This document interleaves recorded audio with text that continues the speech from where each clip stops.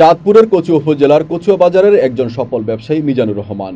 পৌর শহরে খাবারের হোটেল দিয়ে যিনি পরিবারের ভরণ পোষণ ও দুই ছেলে দুই মেয়ের লেখাপড়ার খরচ বহন করতেন। করোনার পূর্ব মুহূর্ত পর্যন্ত ব্যবসা প্রতিষ্ঠানটি বেশ ভালোই চলেছিল। মহামারী করোনা ভাইরাস প্রতিরোধে লকডাউনে কর্মহীন হয়ে পড়ে মিজানুর রহমান। পরিবারের ভরণ পোষণের চাহিদা মেটাতে কৃষক না হয়েও মিজানুর রহমান কৃষিকাজ শুরু করেন। যার নিজের কোনো কৃষি জমি না থাকায় অন্যের প্রায় এক একর কৃষি অনুপযোগী জমি ভাড়া করে শুরু করেছেন সবজি চাষ। কঠোর পরিশ্রম ও অধ্যবসায়ের ফলে আজ তার জমিতে দেখা যাচ্ছে হরেক রকমের শাক সবজির সমারোহ।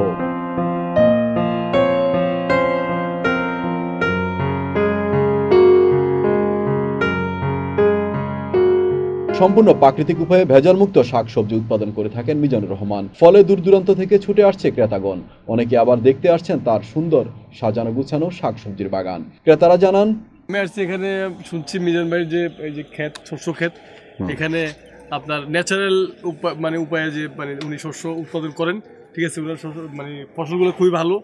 আমি প্রায় সময় এখান থেকে এসে নেই। সেই সেই হিসেবে আজকেও আসলাম। আসলে এখানে ফরমালিন মুক্ত বাজার তো হলো ফরমালিন যুক্ত আর এখানে হলো ফরমালিন মুক্ত। তা আমি চাই সবসময় ফরমালিন মুক্ত খানা খাইতে।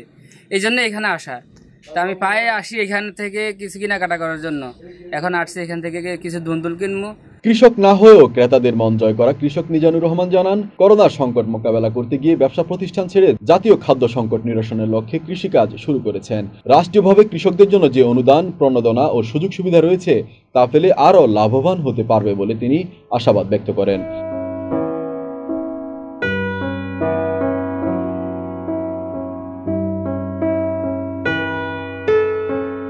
ভাড়া করা জমিতে সার, বীজ, বিভিন্ন কীটনাশক, ঔষধ দিয়ে ফসল ফলিয়ে আশানুরূপ ফসল আসলেও জমির ভাড়াকৃত টাকা ও অন্যান্য আনুষঙ্গিক খরচ বহন করতে গিয়ে এত কঠোর পরিশ্রমের ফলেও পরিবার নিয়ে জীবনযাপন করতে হিমশিম খেতে হচ্ছে। প্রাকৃতিক দুর্যোগেও বেশ ক্ষতিগ্রস্ত হয়েছেন তিনি। তাই তিনি প্রধানমন্ত্রী সহ সংশ্লিষ্ট কর্তৃপক্ষের দৃষ্টি আকর্ষণ করে বলেন, সরকারি সকল সুযোগ সুবিধা ও অনুদানগুলো যদি সঠিকভাবে প্রকৃত কৃষকরা পায়, তাহলে কৃষিতে বিপ্লব সৃষ্টি হবে।